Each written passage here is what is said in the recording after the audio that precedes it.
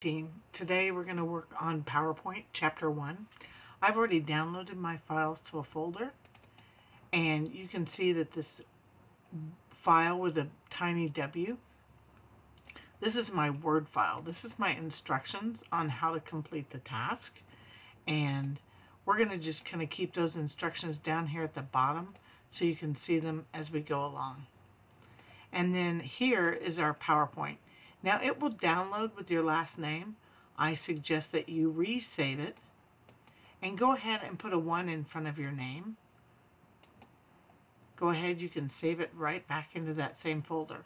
But what I'm suggesting you do is here where your name is, I'm suggesting you highlight that and put 1 and put your name in capitals. So you know that this is the first one you're going to upload. If you end up doing the assignment again for a different grade, put a 2 in front of it, or a 3. It's each time you upload it for grading. Okay, we're going to save. We're going to make our PowerPoint a little bit more viewable and uh, a little bit bigger. Alright, so let's get started. We're working with Wanton Waffles. It's a mobile truck business and it's told us to save our name. Oh, we were supposed to save our name with our last name at the end. You can always resave if you'd like. Replace your name on slide 1 by piping your name and using the retrospect theme. Let's make this a little bit bigger so you can see that at home as well. Okay, so we're going to click where your name goes. Mine is Daphne L. Lewis. And I'm going to go ahead and go into um,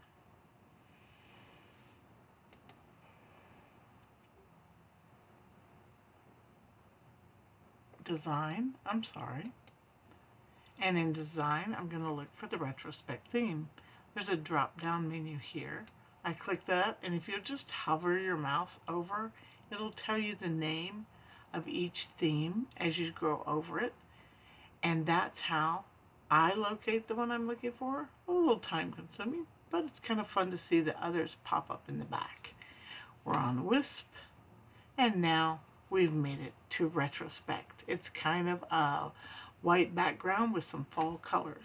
I'm going to click that and you'll quickly see that your thumbnail slide view over here already has that theme color involved.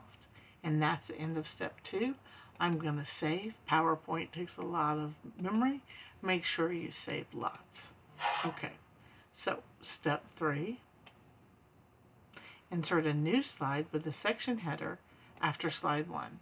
So I'm going to click in my thumbnails between slide 1 and 2 and give myself a line here.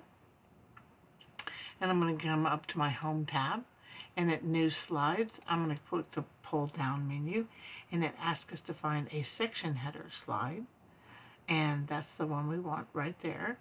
So insert a new slide with a section header layout for slide 1. After slide 1, type the following in the title. Wanton Waffles provides gourmet food quality prepared on the spot in a mobile truck. And I'm going to click right in my box and paste that. I'm going to save, and that's the end of step three. Step four, double click the border of the title placeholder. So you come over here to where you see your, your little dashes, and you double click it, which activates these dots or these placeholders. So the changes we make to font now will cover all of this. You could also highlight the whole thing. Either way will work. And go to the font size. So I'm on my Home tab, and I'm going to come to Font, and it asks us to change it to 60 font and apply italics. So we've got 60 font with the italics I tip to the side, and I'm going to save. And that's the end of step four. Step 5, click side 3. So this is thumbnail 1, 2, and 3. Add the following speaker note. A speaker note is found down here below our slide. When you're in presentation mode, you will see it and the people who are watching your PowerPoint won't.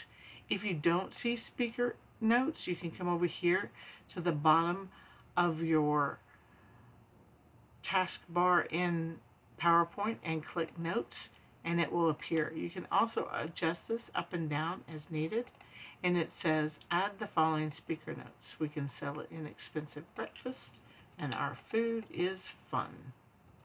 I'm going to go ahead and save that and that's the end of step five.